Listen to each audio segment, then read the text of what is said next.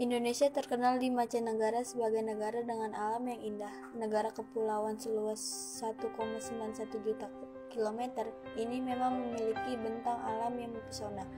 Mulai dari Aceh hingga Papua, tak heran jika jumlah wisatawan yang datang terus bertambah, baik dari dalam maupun luar negeri untuk melihat langsung ragam keindahan wisata alam yang ada di Indonesia. Karena keindahan alam Indonesia yang tak terkira, Berlibur pun tak perlu jauh-jauh ke luar negeri. Ada sejumlah destinasi wisata alam Indonesia yang sangat menarik untuk dikunjungi.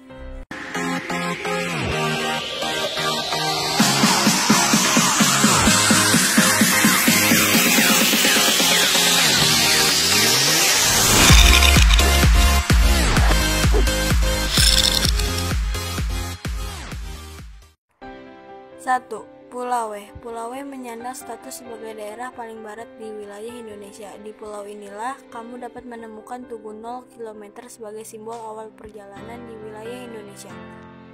Meskipun tidak terlalu besar, Pulau W memiliki keindahan alam khas Nusantara yang luar biasa. Untuk mencapai pulau ini, kamu harus berlayar dengan kapal feri sekitar 2 jam perjalanan. Salah satu spot yang menunjukkan keindahan alam Indonesia di Pulau W adalah Pantai Libohi. Pantai ini terkenal dengan panoramanya yang sangat indah. Air laut yang membentang tampak biru jernih, pasir di sepanjang pesisir pantai pun terlihat putih dan lembut. Selain pantai Libohi, ada ada pulau beberapa pantai lainnya. Seperti Pantai Kasih, Pantai Tampak Gajah, Pantai Sumur Tiga, dan Pantai Anoy Hitam. 2. Pulau Belitung Pulau Belitung menjadi salah satu destinasi wisata yang menunjukkan keindahan alam Indonesia. Pengunjung yang datang ke daerah ini terus meningkat sepanjang tahun. Ada sejumlah spot yang menawarkan keindahan alam di Pulau Belitung, di antaranya Tanjung Binga, Pulau Lebong, Pantai Tanjung Kelayang, dan Pulau Lengkuas. Tempat-tempat ini identik dengan pasir putih dan air laut yang jernih. Nama Pulau Belitung semakin terkenal sejak Adera Hirate mempubliskan novelnya. Berjudul Laskar Pelangi berlatar belakang keindahan Pulau Langkuas yang memukau. Kisah inspiratif ini berhasil menarik minat banyak orang yang datang ke Belitung.